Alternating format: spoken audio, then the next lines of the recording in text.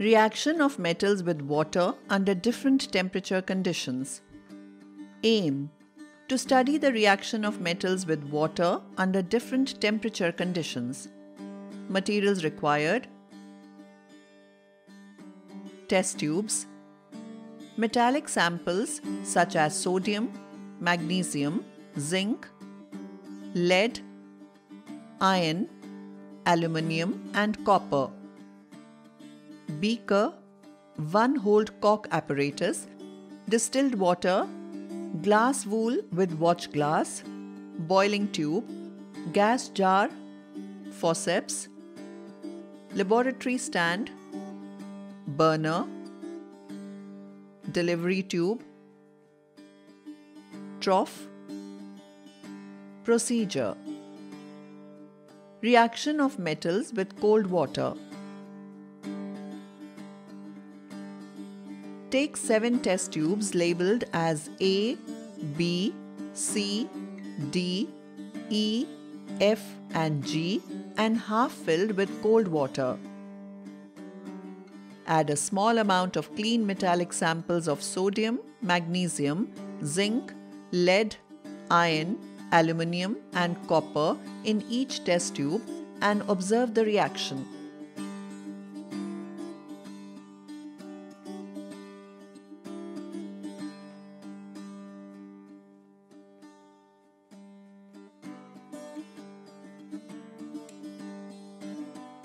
Reaction of metals with hot water. Take a beaker with 100 milliliters of water and boil it. Take 6 test tubes labeled as A, B, C, D, E and F and half filled with boiled water. Add a small amount of clean metallic samples of magnesium, zinc, lead, iron, aluminium and copper in each test tube and observe the reaction.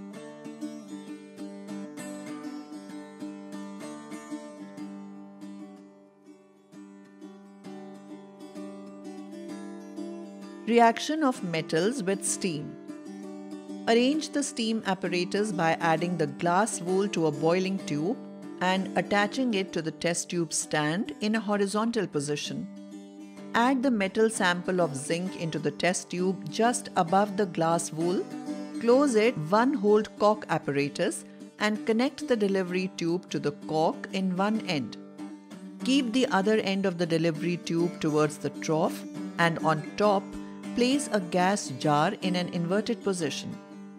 Place the burner under the steam apparatus and turn on the knob and observe the reaction.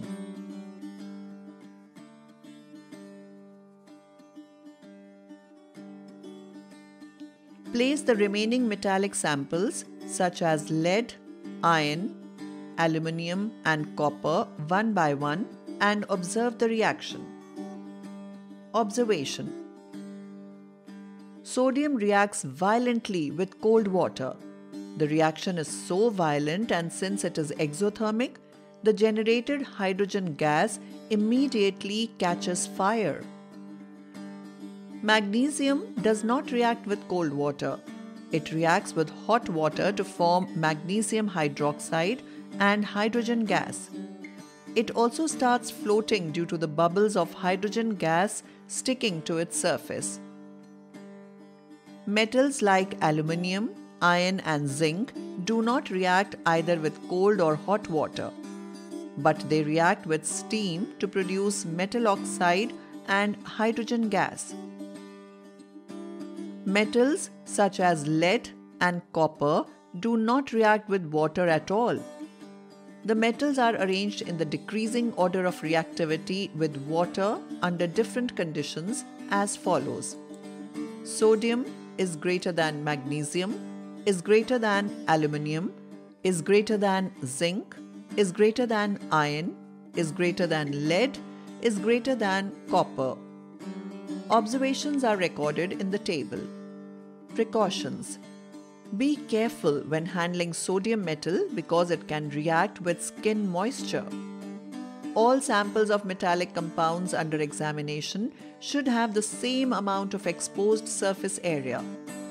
Sandpaper should be used to clean all metals except for sodium.